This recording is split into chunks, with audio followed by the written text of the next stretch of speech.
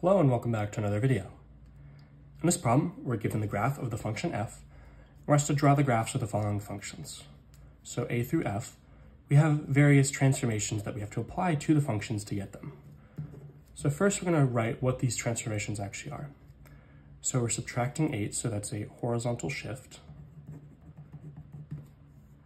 It's subtraction, so it's to the right, 8 units. B, we are multiplying by negative 1. It's being done outside of the function, so that is reflecting over the x-axis. c, we're doing the same thing, reflecting over the x-axis.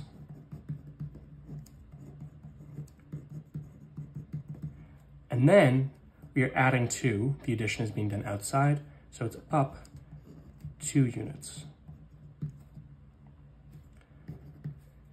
Here we are multiplying by one half, so that is a vertical, since it's being done outside of the function, shrink by a factor of two.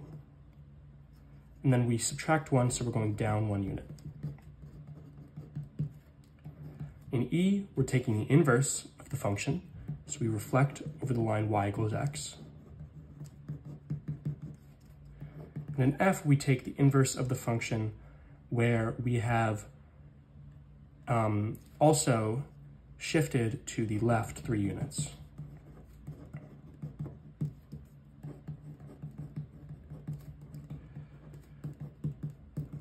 So we're going to do these, and you're going to start with um, y equals f of x minus 8. So means we have to shift to the right 8 units. So I'm actually gonna do that one on this main page because for some reason they've given us this tiny graph and then asked us to move eight units to the right.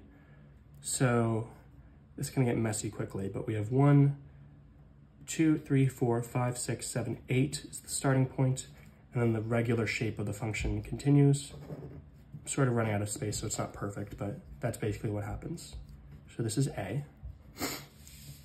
B, we're asked to reflect over the x-axis. And again, we don't have the space for this, so I don't know why they gave us these tiny graphs. But we take the x-axis and we basically say we have to have a mirror image of it. Going into the next graph, that's okay, but it reflects. Next, we have to reflect over the x-axis, which we've done, and then move up two units.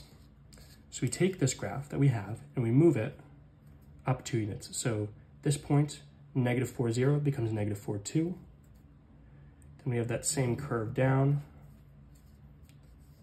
And then over to the right, 3, down 1. That's that graph. Vertically shrinking by a factor of 2 and then moving down 1 unit.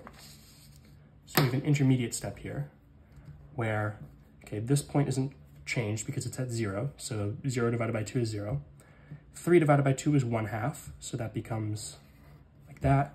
And four divided by two becomes two. So that's the graph vertically shrunk by a factor of two. And then it goes down one, so this point moves down one, this point moves down one, this point moves down one. And we have a function that looks like that, and we can e erase the intermediate function.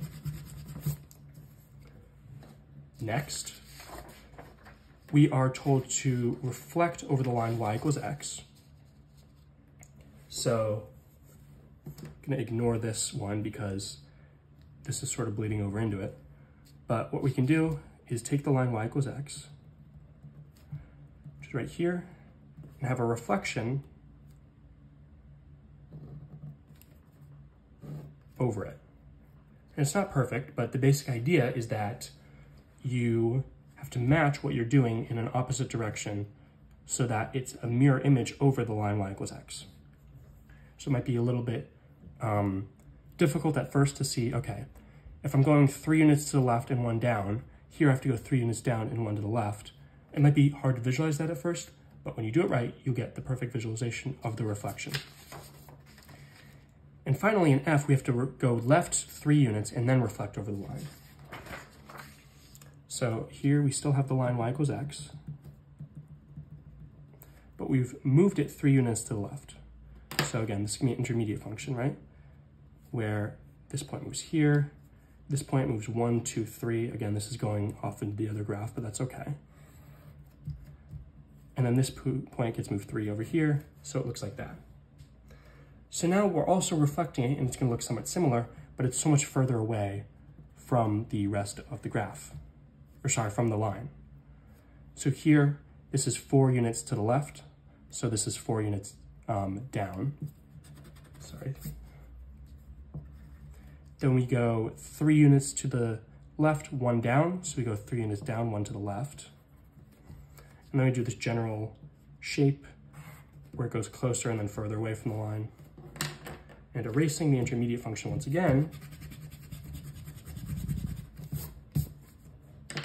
this gives us the final graph of f. So these are the graphs. It's a little bit weird again because they didn't give us the proper space to graph them, but hopefully this is very clear of how these transformations actually apply to the functions. And we also have, this is B, C, D, E, F, and A.